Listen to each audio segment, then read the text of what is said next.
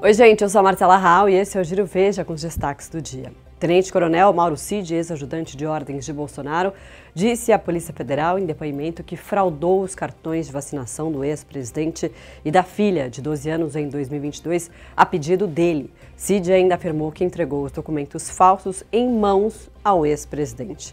Bolsonaro, o ex-ajudante. Mais 15 pessoas foram indiciadas pela PF nesta segunda-feira por fraude nas carteiras de vacinação. Segundo a instituição, os dados forjados foram inseridos diretamente no sistema do Ministério da Saúde para serem impressos pelo Conect SUS. Segundo a coluna Radar de Veja, a Polícia Federal diz que a falsificação dos cartões pode ter ligação com a tentativa de golpe de Estado.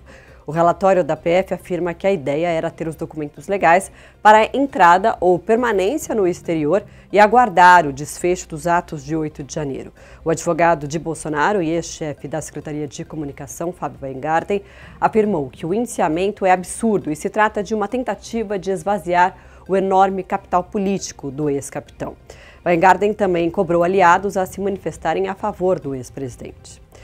Em entrevista ao ponto de vista de Veja, o relator da PEC do BC, senador Plínio Valério, do PSDB, afirmou que a proposta pretende dar autonomia orçamentária para a modernização do Banco Central e que não vai tirar poder do governo.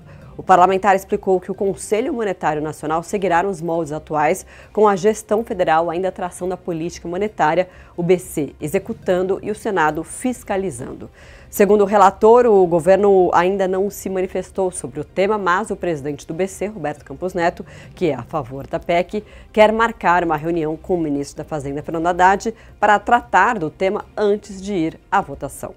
Eu fico por aqui, outras notícias é só acessar o site de Veja. Se você ainda não se inscreveu, aproveita então para se inscrever nos nossos canais no YouTube e também no WhatsApp para ficar sempre bem informado. Tchau, tchau. Até amanhã.